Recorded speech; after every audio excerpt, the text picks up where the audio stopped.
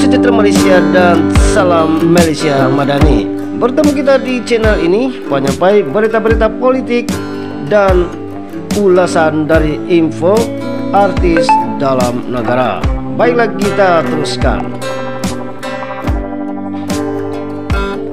Gara-gara isu kalawat Palakun Alif Aziz dan Ruhainis diancam boykot oleh netizen dan juga pihak produksi.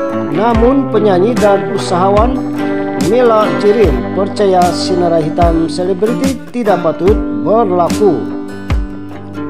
Menurut laporan Emista, Mila berkata, sebagai manusia biasa tidak layak menghukum seseorang karena mendatangkan keburukan. Penyanyi dan usahawan Bismillah itu berkata setiap manusia tidak terlepas daripada melakukan kesilapan. Pada saya tak perlu menghukum sehingga ke tahap itu. Sebaliknya mereka yang membuat kesilapan paling penting perlu kembali sadar dan tidak mengulanginya lagi.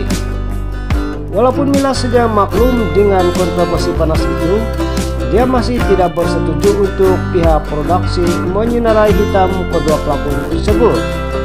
Sebelum ini Mila Jirin menunjukkan rasa kesal dan beri sokongan kepada Bella Astila dan mengatakan Bella perlu mencari kebahagiaan diri. Sekian info hari ini, terima kasih. Kita jumpa lagi, bye bye.